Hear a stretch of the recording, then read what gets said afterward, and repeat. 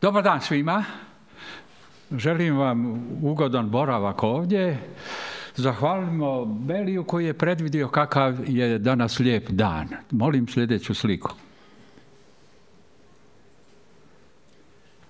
Kakva lipa dana što nam jutro svani, to se nije zapamtilo davnina. Razgali se čovječe i dušom dani, što ne, više, ne moraš više čuli kod komina. Dokle oko stiže, modre se nebesa, zrak mrluši koda cvitaju bajami, kako lipo jutro, ovo su čudesa. Izađi, izađi, sve te ništa mami. Biralo nas dosta ršuma i mraza, ali danas je ko proliče kad sine. Vidi koje sunce, gledaj, prži stine. Čim sam ždraknio kroz prozor prema gaju, odmah sam se obeselio i kaza, ajme kakvo vrijeme, toplo ko u raju. Sljedeće. Nećete, ja ću toga puno.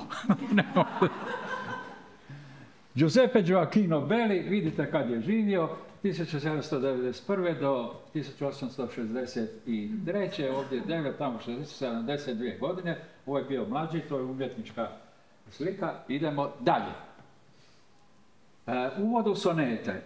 E, za uvod u sonete pročitat ću vam kratko što sam pisao, da ne moram e, mucati. Dakle, tekst A.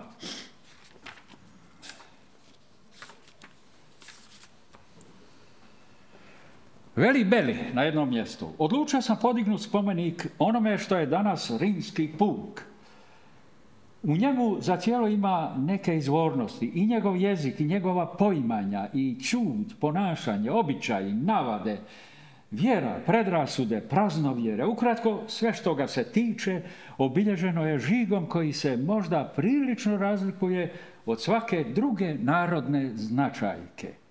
Izložiti Rimljaninove izričaje kakvi i danas izlaze u Rim, iz Rimljaninovih usta, bez uljepšavanja, bez ikakve promjene, čak i bez sintaktičkih inverzija ili pjesničkih skraćivanja, osim onih kojima se i sam govornik rimskog narečja služi. Ukratko izvući pravilo iz slučaja i gramatiku izrabljanja eto moje svrhe. Odatle u mojoj knjizi nema dugačkih pjesničkih tvorevina, odjeljene sličice, nepovezane međusobno, osim tajanstvenom niti podrijetla. Mnogo će bolje pridonijeti glavnoj svrsi, štiteći usput čitatelja od dosade što je nosi previše objedinjeno i jednolično štivo. Moj se svezak može uzeti i ostaviti kao što se čini sa šalama, bez potrebe da se potpuno razvrstavaju ideje. Svaka je stranica početak knjige, svaka je stranica svršetak. Dalje, molim. Stvorenje svita. Naime, zamislite, e, Belija koji obilazi rimske krčve, ide u ubožnice, šeta ulicama i tako dalje i zamišlja da je njega negdje na nekom sjelu kod ognjišta pitaju kako je počeo ovaj svijet i on njima odgovara u ime toga koji malo više znade, evo gledajte, gledajte i slušajte. Kad Isu Krstonov počeo nisit svit, jer je bilo čudo brašna i metinja, tide da je veliko kruga izbit, da bude ko zrila razrizana dinja. Sunce, misle, zemlju, sve po jedno stvori, ali cijela arpa zvizda posli osta. Ribe na dno, zviri srednje, tice gori, drveće posadi, onda reče dosta. I čovjeka, pravi Adama, se siti. I čovjekom ženu Evu, dilom njega, a jabuku jednu krećatin zapriti, ali kad vidi da su gristi jabuku stali, o, Boga mi dreknu iza glasa svega, o, budući ljudi, vi ste naebani. Dalje molim. Evo o njemu malo više. Vidite koliko on ima imena, a zapravo uzeo je tri od svega toga, koji počinju sa Giuseppe Gioacchino Belli, a njegov je pseudomin 996. G, 9, 9, 6. Tako se potpisivao. Otac mu je bio knjigovođa u papinskoj vlasti ili vladi recimo, majka Luiđa, duboko osjećaj bliskosti, preudala se nakon smrti muža i tako dalje. Ima je tešku mladost, osobito zbog vrlo staromodna oca, koji ga je jedan put zatvorio u sobu mračnu na dva dana zbog toga što je on s očeva radnoga stola uzeo jedan novčić. Možete misliti kakva je to kazna. Da vam kažem, ja sam nešto slično doživio u djetinstvu, ali neću vam dalje pričati zašto. E, tako da on školovao se je, pisao je, bio je član jednog društva, ali on je počeo živjeti punim životom kad se oženio bogatom udovicom Marijom Conti, koja je bila 13 godina starija od njega. Nije to dakle bila neka velika ljubav žarka, nego je bio brak iz interesa, ali je odjedan put dobio slobodu i neovisno što prije nije imao. Dakle, imali su sina Čira, on se oženio ovom Kristinom, a ona je još imala i tako dalje, dakle imao je svoju, svoju obitelj, ali se počeo skitati po cijeloj Italiji, slušati velike pjesnike i male strance. Recimo Gogolj je o njemu pronio glas po cijeloj Europi da ima jedan koji piše dijalektom, rimskim dijalektom. Dalje. Evo kako on piše. Opisuje jednu obitelj. Kad se čača vrati u kasnije ure, moja baba kosa kudiju ostavlja, pa potakne žeru i večaru spravlja, pija trašnike i dva grumena pohore. Koji put na tavi privrtu ispeče, tanke privrte, ko kljunovi u tića. I prozirne, krozanje se vidi svića, te još koji baljan, ako i doteče. Onda, dok se čača za pletenku maša, i nastavi malo čakulat pri vinu, ona pere suđe i redi kužinu. Ali čim se i opet dno bukare vidi, meni valja molit pola očinaša i pišat paligat, više se ne svidi. Evo, dakle, situacije jedne, kakvu sam ja u djetinstvu uglavnom proživljavao. Malo prije smo govorili da mi svaku stolicu naši lektori pretvaraju u stolac. Možda zbog mene se u djetinstvu imamo samo stolica, nije bilo stolica, ali to je sramota za lektore što to čine. No, ajmo dalje. E, čudo u Papinskom dvoru. On je na kraju radio u Papinskom dvoru, slično kao njegov otac, i imao je tu književnu pustolovinu o kojoj sam govorio za vrijeme braka, napisao potaj, gledajte koliko soneta, preko dvije tisuće soneta na rimskom dijalektu, Veli obježda krčme i gostionice. Ja mislim da vam ovdje još mogu malo pročitati svoga predgovora o ovoj knjizi. Dakle, to je DEF. No, no, no, no, neću dugo. Belijeva književna pustolovina u rimskom dijalektu provalila je kao žestok i iznenadan vulkan iz mirnoga mora jedne sive biografije. Čudno je zapravo kako je taj pjesnik koji je dvadeseta godina vodio jednoličan život u braku, koji jamačno nije bio iz ljubavi, zjevajući u ambijentima papinske kulture i dosadnih večeri u tri Tiberinskoj akademiji, prije nego što će sagorjeti u divljoj groznici posljednjih godina života, napisao je u potaj toliko soneta, u rasponu od sedam godina, godinu dana prije smrti, završio je, tajnost je bila nužnost koja je datirala, diktirala da bude nazadna i tako dalje.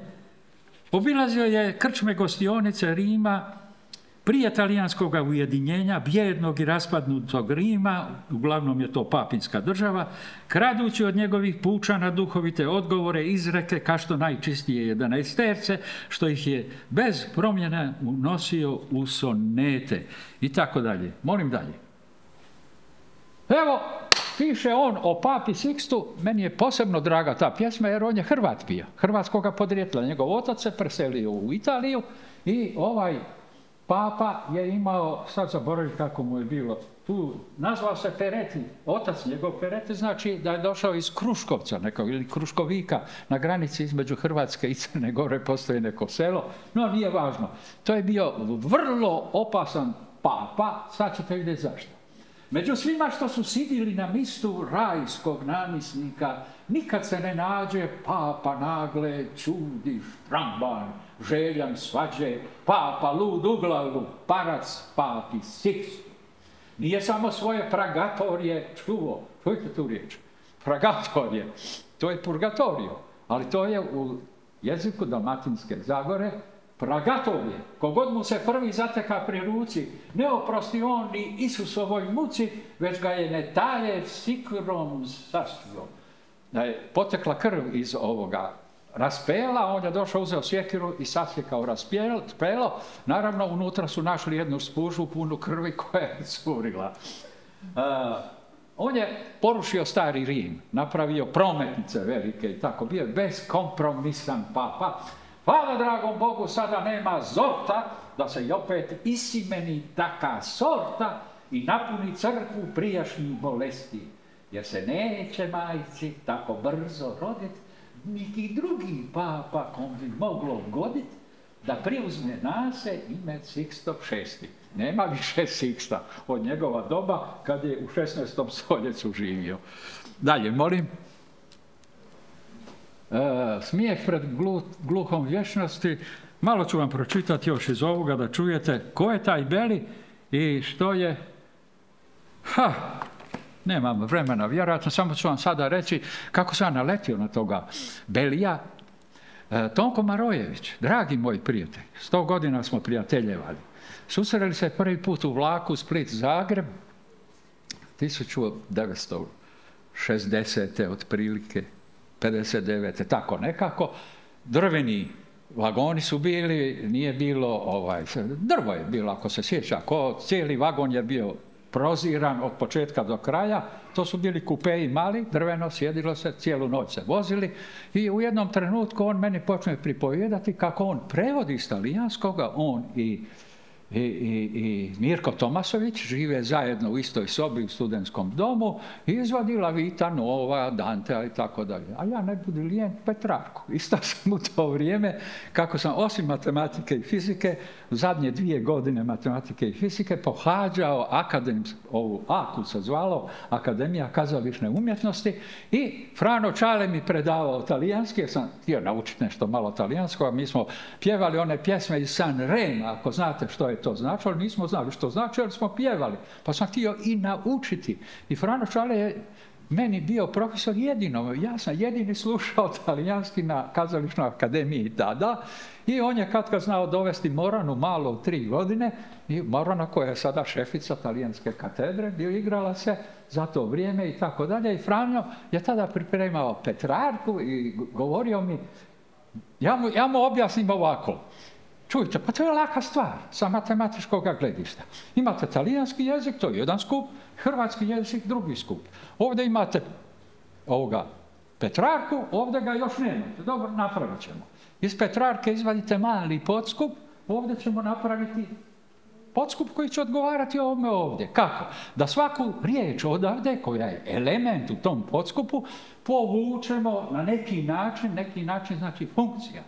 F ovamo i naći među mnoštvom hrvatskih riječi jednu koja će odgovarati i tako dalje. Prema tome ovdje će nastajati elementi F, y, y jednako F, to je ovaj put, od x, ovdje su x-ovi, postaće y i tako dalje. To je bio moj Čale meni kaže, da, da, da, da, to je u redu, slaže se s tim, probajte mi prevesti jedan, jedan sonet. Ja kažem, dajte pa drugi put ćemo se vidjeti. I on meni dade sonet, ja ali ja ne znam riječ, napišite mi šta znači ova pojedina riječ, ja ću vam to napraviti. Tako je počela moja pustolovina, davno 1960. Već, već sam gotov. Aj, daj, ajmo brzo. Ajmo brzo dalje. Dalje. Evo, Rozar je u familiji, vidite ova, tu se moli, cijeni se okolo, zdravo Marija se moli, a neko pegla. Pegla jedna od onih i zdravo Mario, složi. Milost je puna, ne, ne šum prešćeti pas. Gospodin s tobom blagoslovljena ti među. Nemoj, puna, ženama i blagoslovljen, lipo s robom. Šumom doktora me tvoje Isus. Ne nasilje, sveta i tako dalje. Na kraju je slava ocu. Eto, odmija ti džava, Bože mi uprosti, ovo više nije. Drugu ćemo večer svršiti rozarije. Dalje. E, to sam govorio. Zašto je to tako dobro, mogao bi čitati, ali neću, samo da prođemo slike. E, slike, dalje. A ovo je, ja mislim, zadnji valjda ili predzadnji. Ko traži nađe, imajte strpljenja, vidite kakav je. Šta sam mogao? Sam je tio, sam je skrivio. Pođem doli, baš sam ima ništa posla. Kad susretnem njega, pa mu kažem, živi. On prođe kroz zube me nigdje posla. Ajde rogonja ja za njim, nemoj tentat. Već je zamica, kad uvati ga uja. Držite kopile, sad ću te sakramentati. Zblanio se, pa da ga je uvila guja. Priko kad vidim gdje je nož izvuka, vas se zapinio, krvave u oči, osurlja se niz ulicu, hoće zbost. Stanem, uzmem škriljku i čekam Ajduka. On sve bliže k meni i tamo da skočim. Smirim ga u čelo, vrlje, puče kost. Evo, takav je ovaj ostao, još malo dalje. E, dakle, to kritika šta govori, svi se dive. E, dalje, ovo je jedan od mojih, ovo je jedan od mojih prijevoda, tu se vidi e, šta sam sve ispravljao i tako dalje. To je svadljiva žena, tuku se te ledone, licikine, ajmo dalje. Sudnji dan. Vidite da završava sve skupa. Njega znam na pamet. Četiri će se strašna anđela pojaviti, na sve četiri čoše, s trubaljkom svaki. Prvo će zatrubit, onda glasom jakim, dižite se redom, svem svi to objavi. Na to će iz zemlje pliva i mrav rupit, kostur do kostura, četveronožice, pa kad ih se vrati čovičansko lice, ko pilići oko kvočke će se skupiti. A ta kvočka bit će Bog koji nas stvori.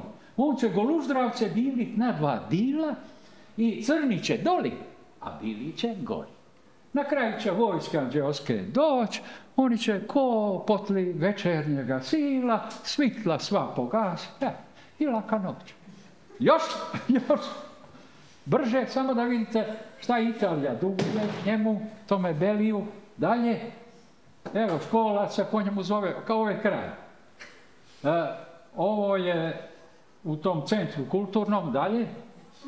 Ovo je poštanska marka, ovo je njegov, tu se nalazi, to je njegov trg, vidite ovdje, ovo je Tiber, ovdje je on, dalje, ve, tu je spomenik onaj, ali su po, poeta, svome poeti, misli se rimskom poeti, rimljani kažu, postoji Dante, on je prvi, ali drugi je Beli, znate, ne, ovi drugi nisu ništa. Drugi je Beli, ne, Dante svaka čast, znate još? Evo je kraj. Od čega su zvijezde, to je jedan dio njegov. Je baš me jibiš. Od pitanja takvi neroza me vata. Dosta je otvorit oči da ih vidiš, pa ćeš sve razumit. Svaka je od zlata.